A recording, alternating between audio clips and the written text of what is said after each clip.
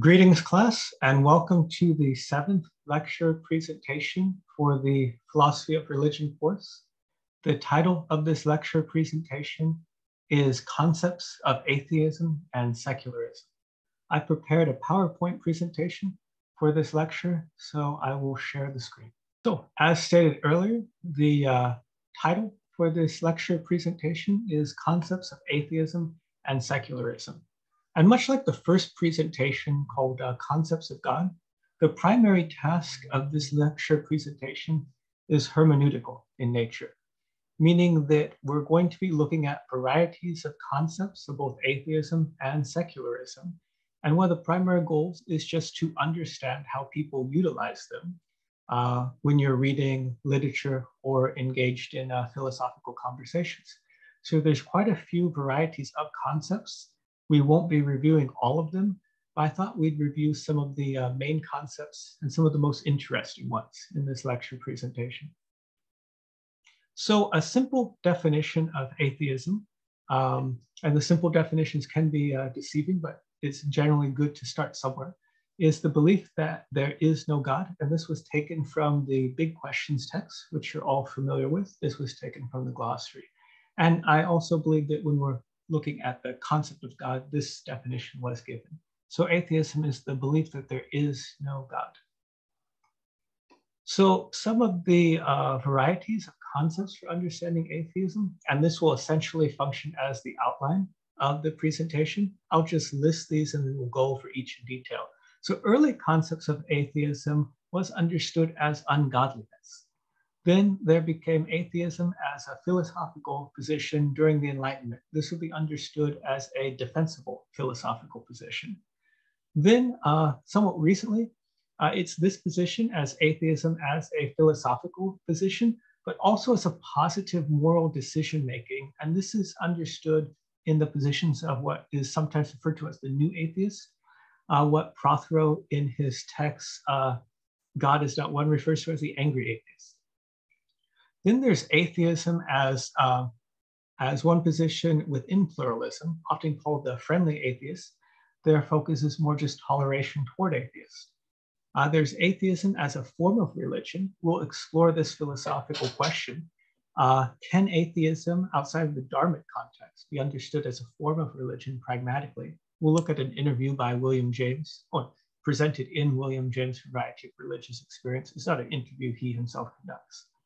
Then we have atheism, and this is sort of understood as science as a utopic substitution for religion or God, often found in utopian literature. The example I'll provide is from Walden 2. And then finally, we have atheism as a descriptive position in the religious beliefs and religious traditions of uh, Jainism and some forms of Buddhism. So we'll get started and we'll proceed in this order. When we're done with this, we'll look at a similar outline for secularism. So early concept of atheism as ungodliness. Uh, this was taken from uh, the work, The Myth of Disenchantment by uh, Josephson Storm. So a fascinating work, I, I, recommend it. And he writes, the term atheism had entered uh, modern Europe, European languages by way of French only in the mid 16th century as a rehabilitation of the Greek word atheos, uh, often translated as godless or impious. But initially, it was used to refer to any kind of intellectual, moral, or behavioral ungodliness. During this time, quote, uh, belief in God was thought to be an inborn trait, and the existence of God such an obvious fact that atheism could only be asserted through a kind of bad faith or self deception motivated by carnal passions. So, this was the early use and then it becomes a viable philosophical position, much like some of the philosophical positions we've been exploring earlier, right? Uh, atheism as a viable philosophical position during the Enlightenment.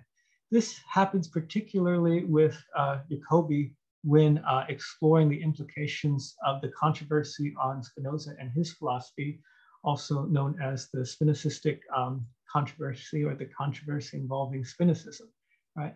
And so Jacobi is exploring the implication of Spinoza's philosophy, particularly after uh, Lessing was uh, understood to possibly believe it. It wasn't clear whether Spinoza's position was pantheism or atheism.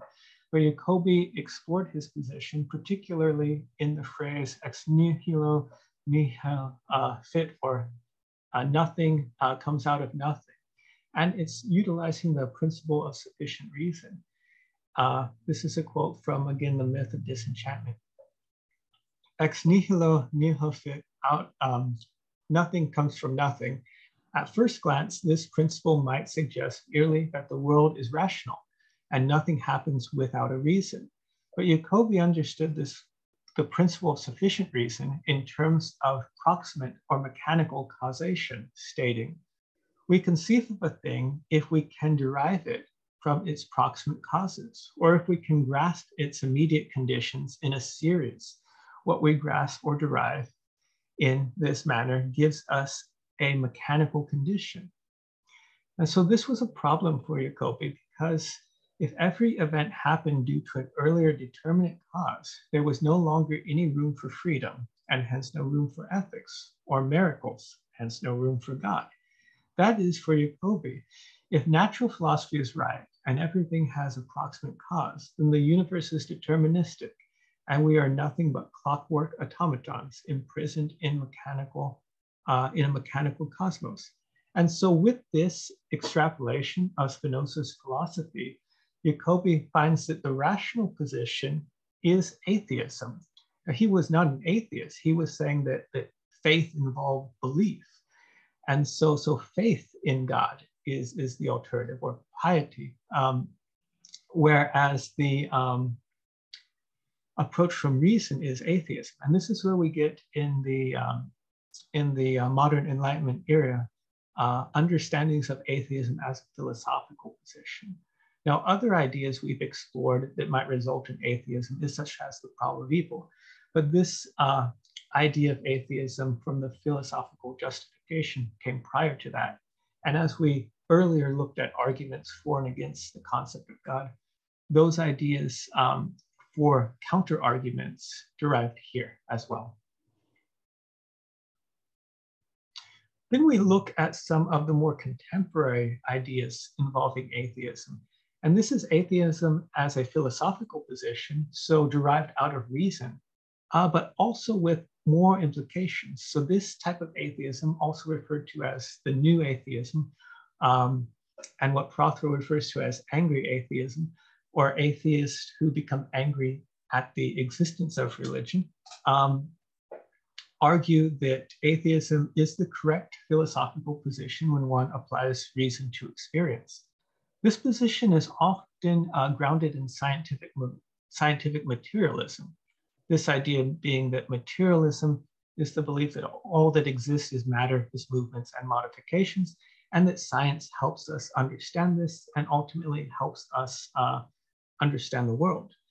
This position also uh, believes that religion is harmful to society and that to create a better society, religion would have to be absent.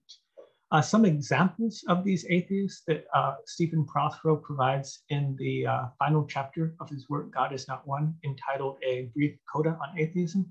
Some examples of these atheists are uh, Richard Dawkins and Daniel Dennett. Atheism, the next type of atheism is atheism as one position within uh, pluralism. These are often called the uh, friendly atheists. This quote is taken from Prothero's text as well. And he writes Advocates of this perspective present atheism not as the infallible truth, but as a valid point of view deserving of a fair hearing. Their, ulti- their goal is not a world without religion, but a world in which believers and non believers coexist in a spirit of mutual toleration. And so this is just one view in a pluralistic universe, whereas the former view, perhaps the former two views we've explored, uh, sort of see more of a correct and incorrect answer to from reason, atheism in this perspective being the correct answer. Um, in the former faith uh, uh, being an alternative uh, belief system, but not as not um, uh, with the aid of reason, because as Jacobi noted, that um, reason results in atheism, given what Spinoza said. So here we get to an, another interesting take this idea of can religion uh, I'm sorry, can atheism be understood as a form of religion? And here, when I say atheism, I mean outside of the dharmic contexts of Jain and Buddhist uh, philosophical religious belief. Um, and so here we have an example of an interview uh, of an atheist that William James provides to us in the um, varieties of religious experiences, commenting on this uh, individual, James explains, we have in him, the atheist being interviewed, an excellent example of the optimism which may be encouraged by popular science. And so James again defines religion as one's total reaction upon life. We looked at this in a former video. He also divides the um, religious um, psychological aspects of a person's belief into the healthy, mind, healthy mindedness and the sick soul. Um, and he's giving this atheist as an example of a religious belief system, a total reaction upon life, which is ultimately healthy. And so I'll go ahead and read some highlights from the interview to uh, show to everyone. So the atheist is asked this question, what does religion mean to you? He replies, it means nothing. And it seems, so far as I can observe, useless to others. Consequently, I have some little experience of life and men and some women too. And I find that the most religious and pious people are, as a rule, those most lacking in uprightness and morality. The men who do not go to church or have any religious conviction are the best. And so here we see some uh, ideas in some of the former atheisms we were described. The interview continues. What comes to my, your mind, or what comes before your mind corresponding to the words God, heaven, angels, etc.? And he replies, Nothing whatever. I am a man without a religion. These words mean so much mythic bosh. The interview continued. Have you ever experienced, have you ever had any experience which appeared providential? He replies, none whatever. There is no agency of any superintending kind. A little judicious observation, as well as knowledge of scientific law, will convince anyone of this fact. Question, what things work most strongly on your emotions? After describing uh, plays and music and exercise, the atheist continues, all my thoughts and cogitations have been of the healthy and cheerful kind. For instead of doubts and fear, I see things as they are, for I endeavor to adjust myself to my environment. This I regard is the deepest law. Mankind is a progressive animal. I am satisfied that he will have made a great advance over his present status a thousand years hence. And here we start to see how James understands this as a total positive reaction toward life, putting this person in the category of the healthy mindedness and perhaps of a religious experience. This can also be described as forms of humanism. Then the atheist is asked, What is your notion of sin? He replies, It seems to me that sin is a condition, a disease incidental of man's development, not yet being advanced enough. Morbidness over it increases the disease.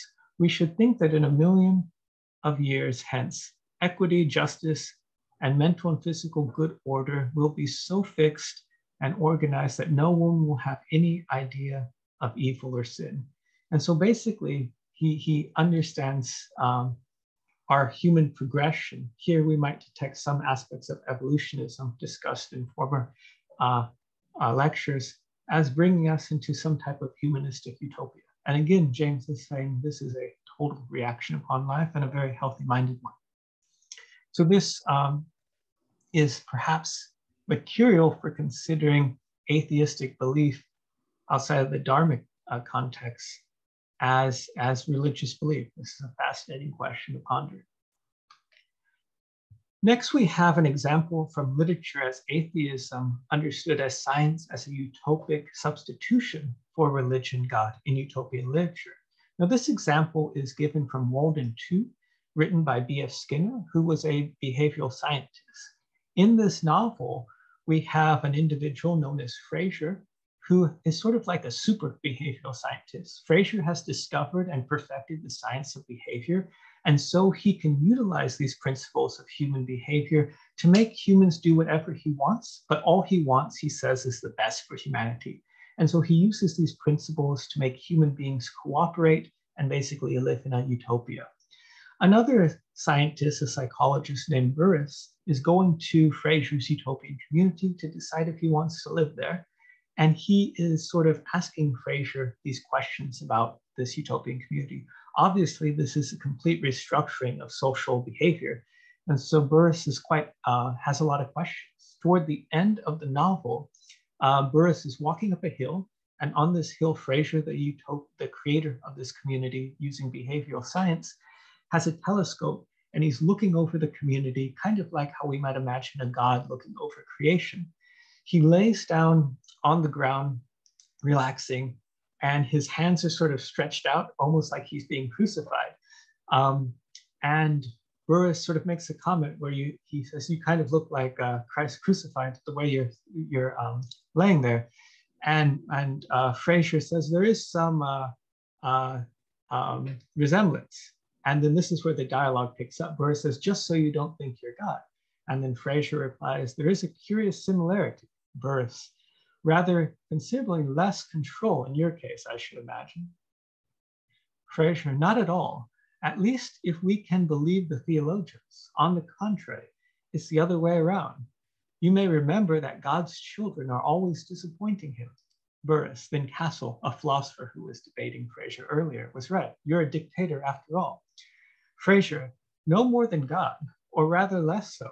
Generally, I've let things alone. I've never stopped, stepped in to wipe out the evil works of men with a great flood, nor have I sent a personal emissary to reveal my plan and to put my people back on track.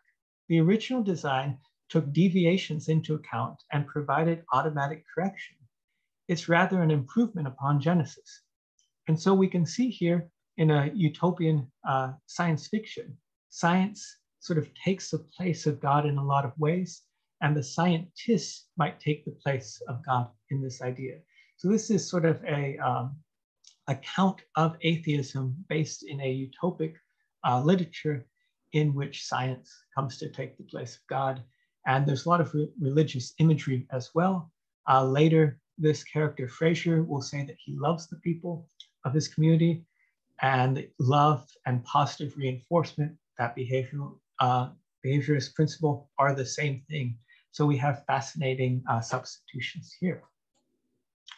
Finally, we have um, atheism in the uh, uh, as a uh, philosophical position of religious belief in Jain and Buddhist Dharma.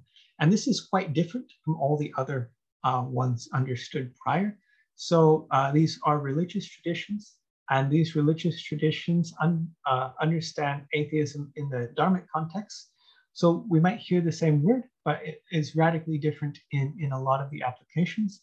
First, there is a belief in karma and the eternal nature of the universe. So there's no creator of the universe. The universe always existed, and it operates under the principle of karma, uh, in which all actions have uh, implications and reactions. There's also a belief that liberation requires self-effort in uh, Jainism and in many forms of Buddhism, and that correct understanding of reality and moral behavior is also necessary. And so there's not a reliance in a personal God which can save one.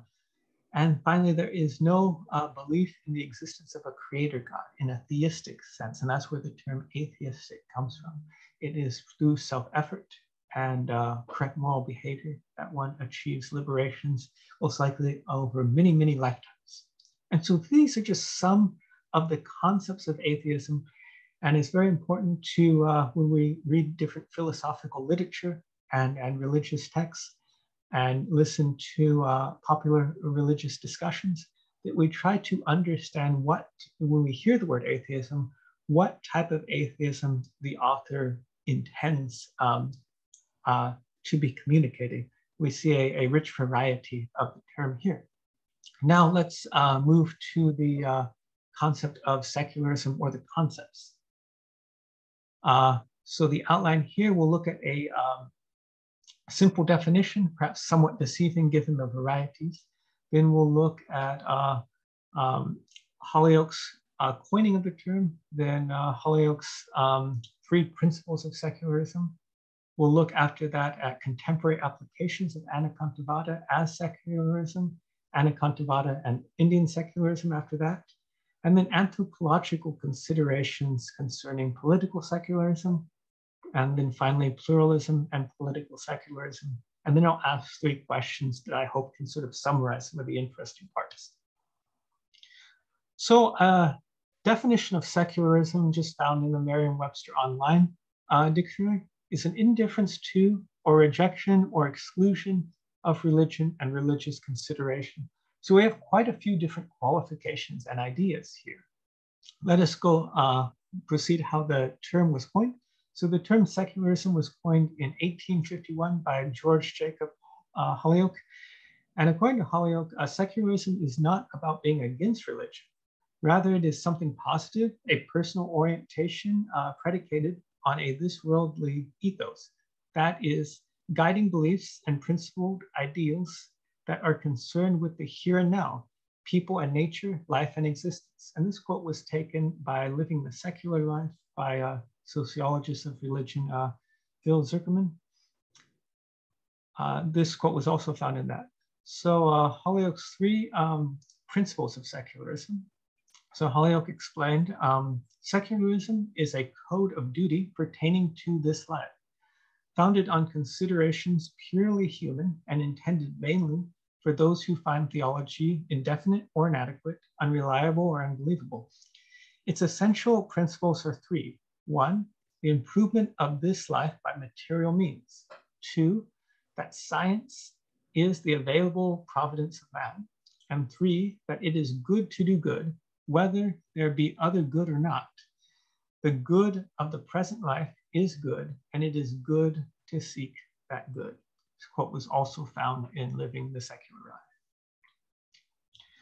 We'll move now to a uh, different understanding of secularism. This comes from contemporary applications of Anekantavada, particularly by an article by uh, Kamla Jain. And here we have um, an explanation of some of the insights in this article. Commenting on the concept of Anekant in our present day social context, Kamla Jain compares Anekant to the nuanced understanding of secularism. Jain explains that, quote, in modern social contexts, there cannot be a better interpretation of Anekant than secularism. It is the modern social philosophical definition of Anekant, which Jain defines as respect for all religions.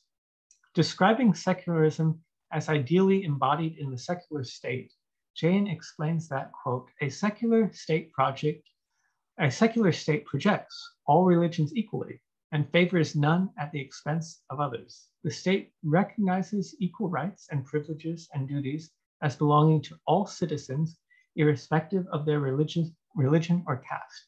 So this is a concept in which she uh, believes that Anekant and secularism, particular in the ideal secular state, share. So much so that they interpret each other. Uh, this understanding of secularism is particular to Indian secularism, in which Richard King defines as taken from the contemporary Indian politics and influenced by Indian reformers such as Gandhi and Swami Vivekananda, and bases itself upon the principle of Sarvadharma Sambhava, uh, Sambhava uh, often loosely translated as let all religious, religions prosper. And so this understanding of secularism is a space in which all religions uh, can equally prosper. And the government uh, is structured such that um, religions can do this. We also, given this, this idea of um, secularism in relation to the secular state, in religion, in relation to um, um a state in which there are multiple religions practiced, uh, I thought I would also share uh, anthropological considerations uh, from the work Religious Difference in a Secular Age by Saba Mahmood, who is an anthropologist of secularism. And so Saba Mahmood explains that secularism in the following way, stating that she conceptualizes political secularism as the modern state's sovereign power to reorganize substantive features of religious life, stipulating what religion is or ought to be, assigning its proper content and disseminating concomitant subjectivities, ethical frameworks, and prudentum practices. Secularism, in this understanding, is not simply the organizing structure for what are regularly taken to be a priori elements of social organization, private, public, political, religious, but a discursive operation of power that generates these various spheres, establishes their boundaries, and suffices them with content such that they acquire a natural quality for those living within their terms. So perhaps the worry contained in this insight concerning secularism and secular democracies is that the amount of pluralism a society is able to experience and foster must be mediated by the power of the state, um, a power greatly influenced by religious majority within the society. The influence of the religious majority also takes their particular norms, laws, uh, norms and laws, um, also makes their particular norms and laws appear more natural and less in need of justification than those of religious minorities. It's a fascinating idea. Whereas a secularism from nowhere, which is sort of just a uh, concept, such as a view from nowhere, often popularized by Thomas Nagel, right? This this idea of, of secularism in and of itself, which may or perhaps not really exist. We look at genealogies of secularism, might suggest equal justification for every norm or law, even if there is coincidence of overlapping consensus. So this, again, I hope provides a variety of concepts of secularism understood uh, in, in distinction from religion, as understood uh, from religious concepts, as understood anthropologically in societies that are secular democracies in which there are religious uh, majority and religious minorities coexisting, in which uh, the aim is equal freedom of religious expression for all. Finally, I thought I would share a few questions that I thought might summarize some of the points uh, made uh, between these concepts of atheism and secularism within the context, the larger context of the philosophy of religion. I, I thought of three further questions that I thought might be interesting to ponder. Does it make sense to think of atheistic beliefs, again, outside of the context of the Dharmic context of Jain and, and Buddhist beliefs, as religious beliefs? So does it make sense to think of atheistic beliefs as religious beliefs? We have some aspects of why, given from the uh, interview provided in the William James uh, text, but that has much to do with the concept of religion and the definition of religion, which the first lecture and the fifth lecture often uh, provided a variety of definition of religions, right? So that's the first question. Question two, what is occurring philosophically when one uses a religious concept like Anekantavada to understand secularism? This, I think, is also a fascinating question to ask. And finally, this aspect has to do with philosophical secularism, but also uh, involves the concept of political secularism. Is there an essential difference between a secular government made up of religious individuals and a secular government made up of non-religious individuals? So these are three questions I thought were fascinating questions given the variety of concepts of both atheism and secularism. Okay, so I hope this lecture was uh, uh, very helpful. Um, and we only have one more left, and that will be on concepts of the afterlife. So uh, again, I hope you enjoyed the lecture and take care.